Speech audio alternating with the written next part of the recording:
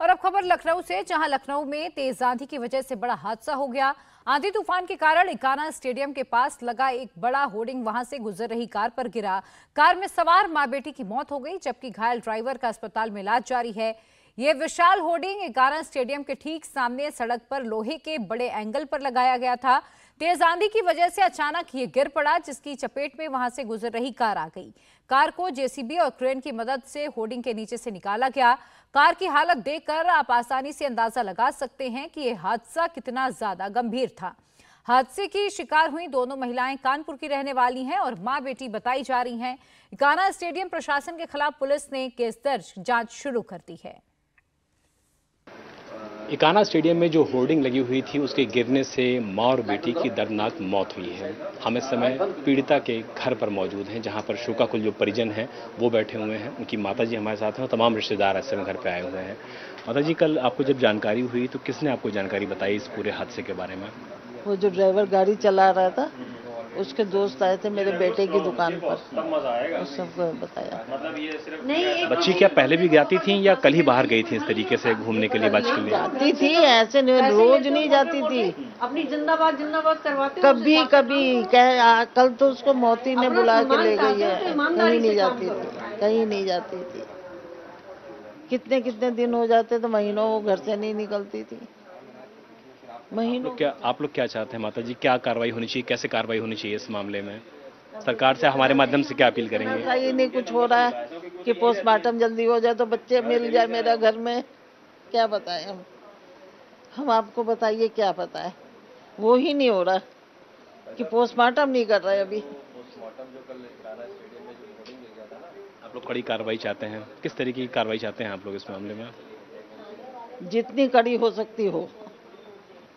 जितना कड़ा हो। जो शोकाकुल परिजन है, वो यहाँ बैठे हुए हैं, उनका कहना है कि कड़ी से कड़ी कार्रवाई इस मामले में होनी चाहिए। तमाम लोग यहाँ पर हैं, जो रिलेटिव्स हैं, वो भी आए हुए हैं। दिल्ली से भी तमाम रिलेटिव आए हुए हैं। भैया यहाँ आप लोग पहुँचे हुए हैं पोस्टमार्टम अभी नहीं हो पाया है। क्या कार्रवाई आप लोग चाहते हैं? माता जी तो बहुत ज़्यादा बात करने की कंडीशन में नहीं है। देखिए कार्रवाई यही होनी चाहिए कि इस, इसके ऊपर स्टेट अवे बहुत तगड़ा एक्शन होना चाहिए और माननीय मुख्यमंत्री जी हैं उन तक ये बात पहुंचनी चाहिए ताकि वो निष्पक्ष जाँच करा सकें और स्टेट अवे कोई डिसीज़न ले सकें। ताकि ये हादसा फ्यूचर में कभी ना हो। सिर्फ़ होर्डिंग्स के थ्रू ब्रांडिंग करना इज़ नॉट इंपॉर्टेंट सबसे बड़ी मेन चीज़ इंपॉर्टेंट ये होती है कि मेंटेनेंस करना। हम लोग वैसे कहते हैं जी हम बैनर्स लगा देते हैं उसके बाद बैनर हटा दिए जाते हैं। आज ये बैनर क्यों नहीं हटा? आज इसकी मेंटेनेंस क्यों नहीं हुई? इन दो बच्चों की मौत के बाद ही मेंटेनेंस होगी।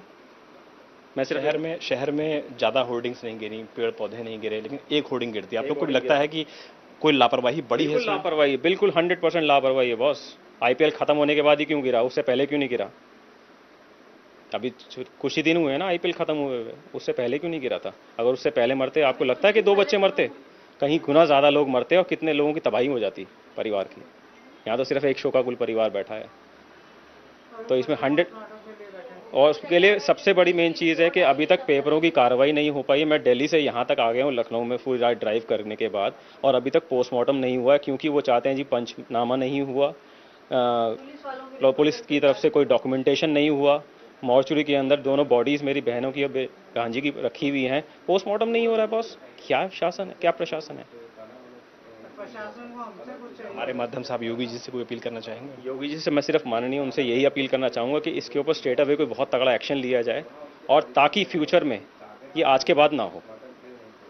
परिवार को आपने सुना, उनका कहना है कि इस तरीके की कार्रवाई होनी चाहिए ताकि वो नज़ीर बने और भविष्य में इस तरीके की कोई भी हादसा लखनऊ में या किसी भी शहर में ना हो ताकि मासूमों की जान कम से कम ऐसी छोटी सी आंधी में होर्डिंग्स के ज़रिए ना जाने पाए। इंडिया टीवी हर वक्त, हर जगह। डाउनलोड करने के लिए सर्च करें India TV news, Google Play Store या एप स्टोर पर।